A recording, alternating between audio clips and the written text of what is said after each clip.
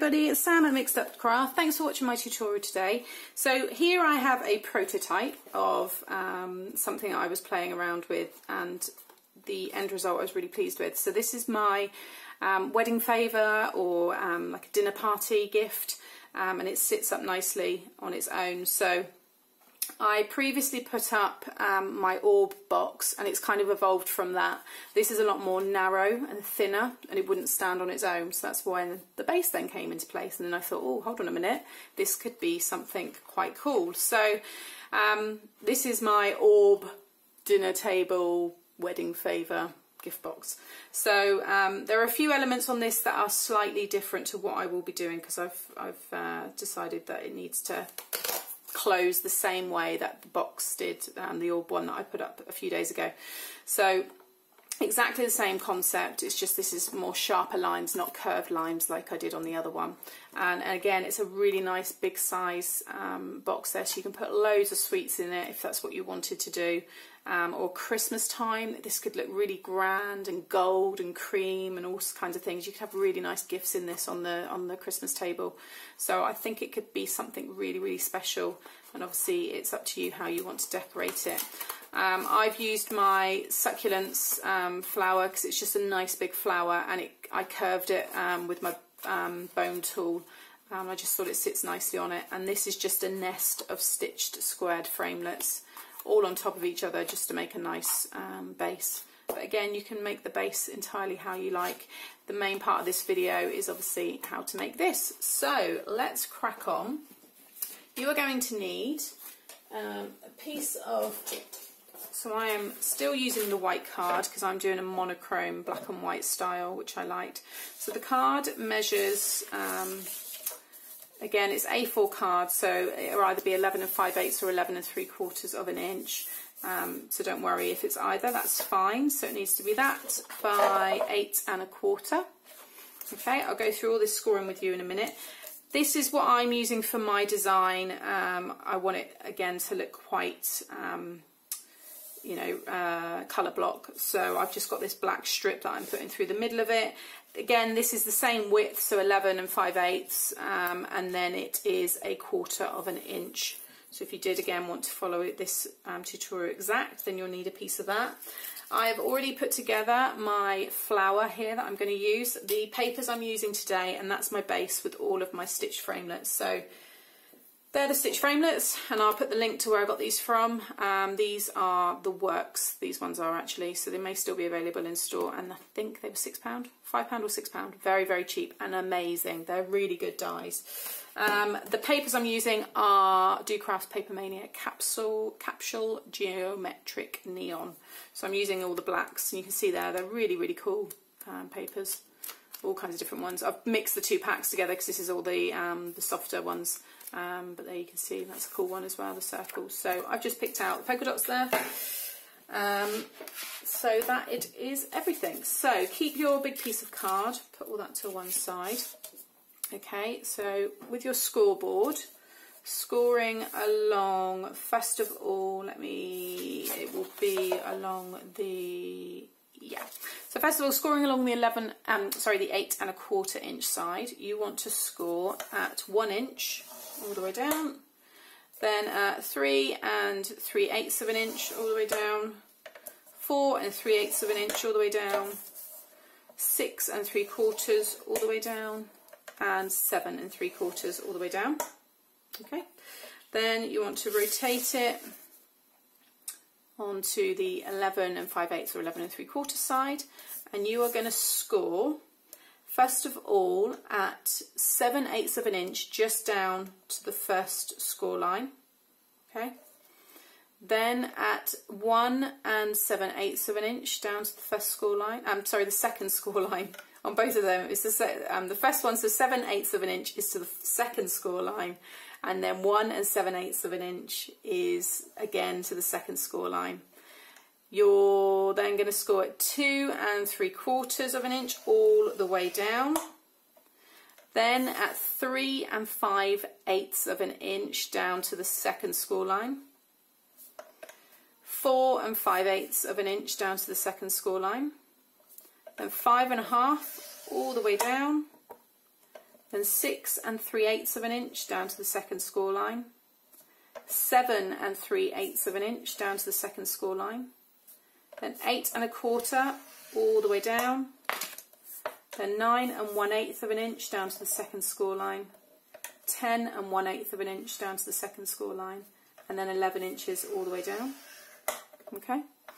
Then flip the whole piece of card over. Okay.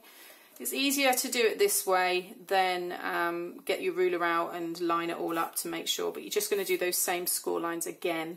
So one inch, but this time, oh, sorry. oh dear, something went, uh, happened to my throat then. So this time you're only going to have that one score line, that first one. You won't have the two because this is the base, it's slightly different. So you want to score it one inch just down to that first score line, then two inches down to that first score line, You've already scored at two and three quarters, so that will be there, so don't worry about that one. Then move on to the three and five eighths of an inch down to the first score line. Four and five eighths of an inch down to the first score line. Five and a half score line will already be there. Then six and three eighths down to the first score line. Seven and three eighths down to the first score line. Eight and a quarter will already be there. Then nine and one eighth of an inch down to the first score line 10 and 1 8th of an inch down to the first score line and then your 11 inches will already be there. Okay, lots of scoring, but I hope I made it straightforward enough. Then get rid of your scoreboard but keep your stylus and grab yourself a ruler and you are going to score. Okay, so um, let's do it so that we've got, um, so we've got the tab on the left hand side here Okay, let me just stand up so you can see what I've done. So where you scored your square, you got like that square there in the middle of this rectangle piece. Uh, yeah, there we go. We're going to be scoring from these corners up to the square. So you've got this bigger square here. You're going to do the corner of this square up to that one. So let me just go, you can see there how it will all come together.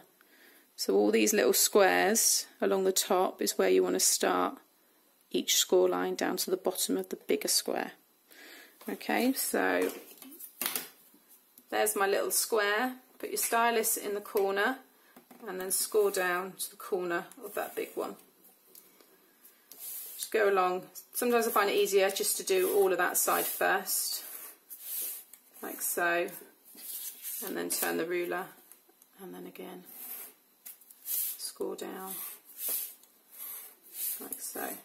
Needs to push down a little bit harder than I have. I've just showed you for the purposes there, but that is what you want to have all the way along. Okay, and then you want to turn your card around and you want to repeat that, but this time you obviously have this line here and then you've got this one which is the same as the bottom so again it's from that square not this one it's from the actual square from the corner down to the corner of the bigger square below. Okay, you can see there all the score lines. So you have lots and lots of triangles.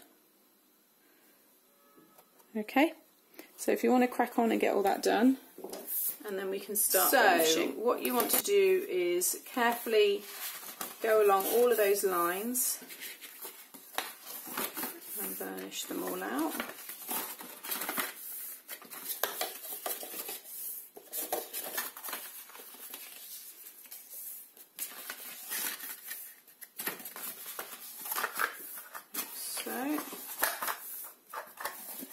and then the triangle ones. You just want to pinch with your finger and then kind of like pinch up to the top there okay? So again.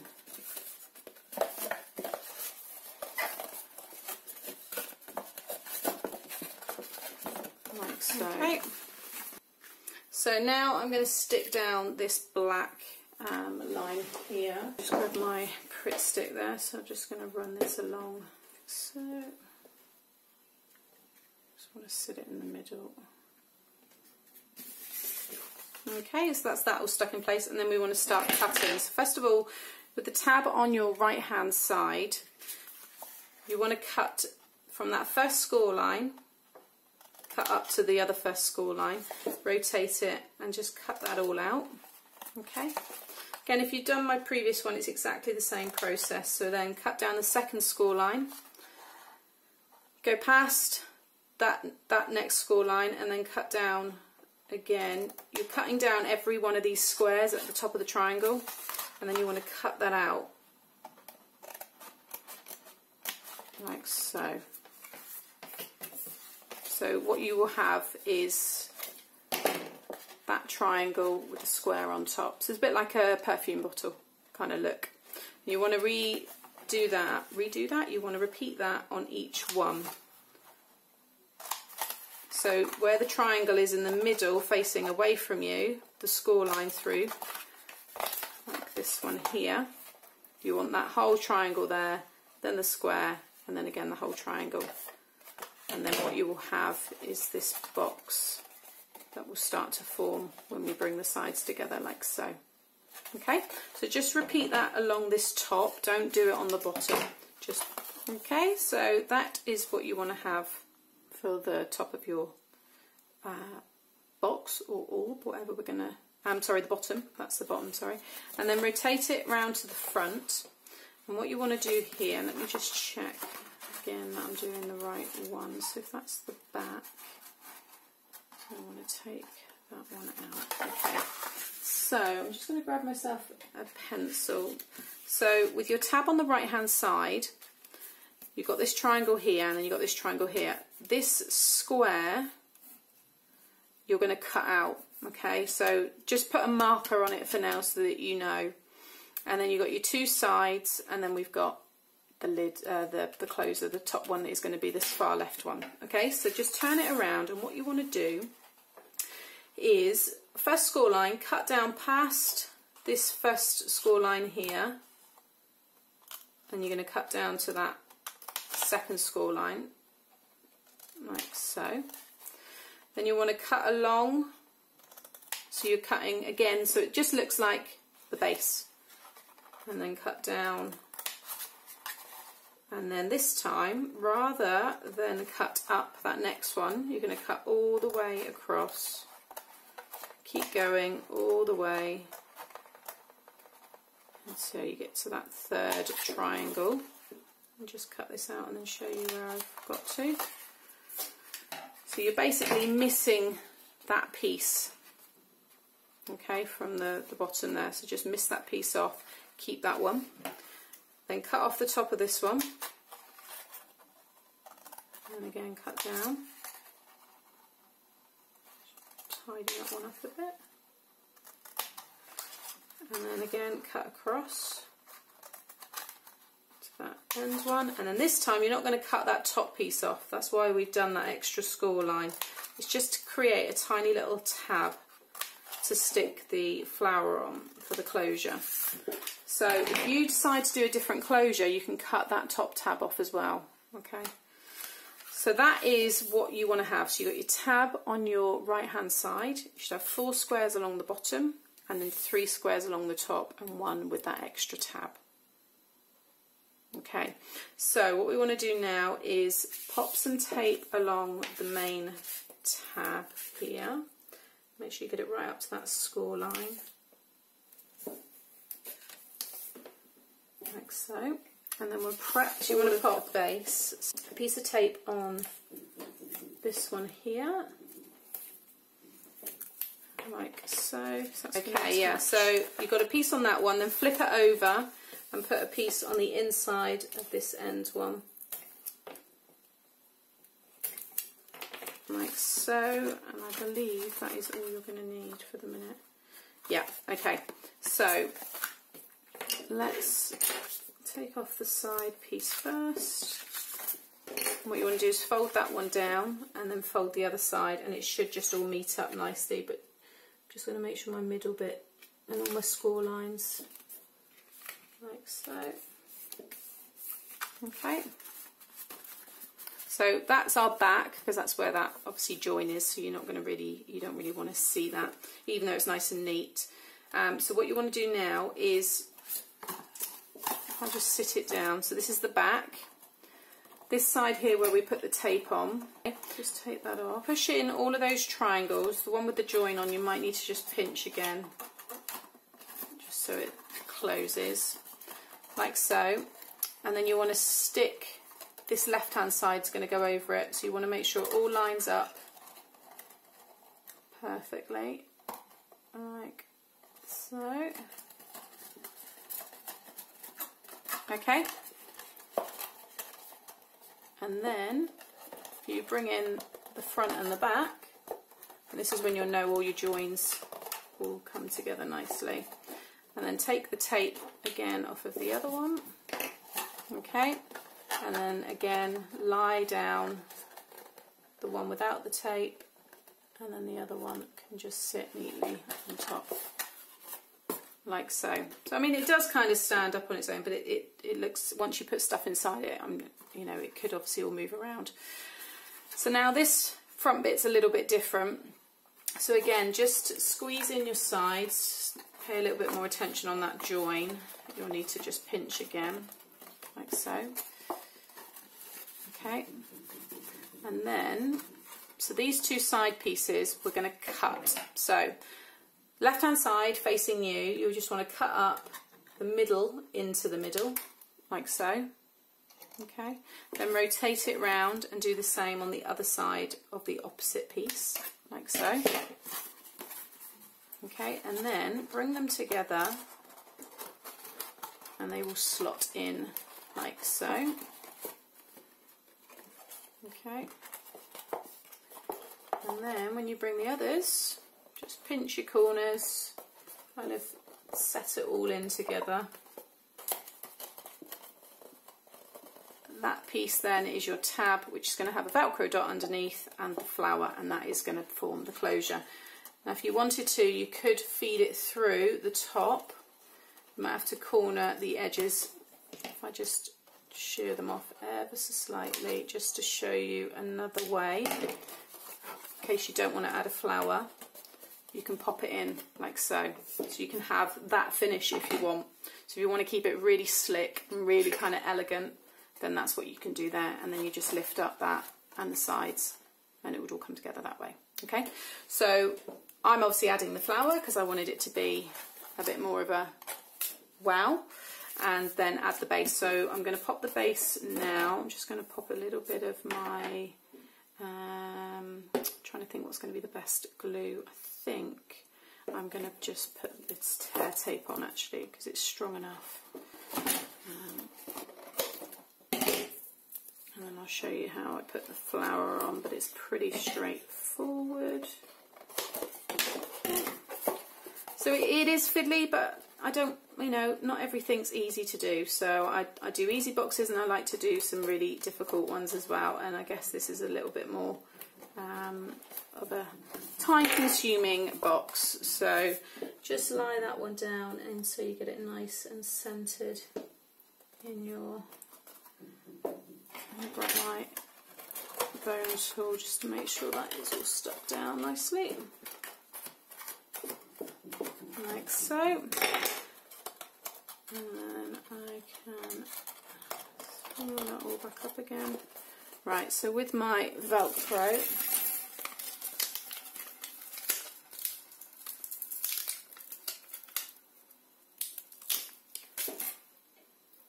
okay, just going to pop that under that little flap and just fold that down over the end. And then again with the flower put another piece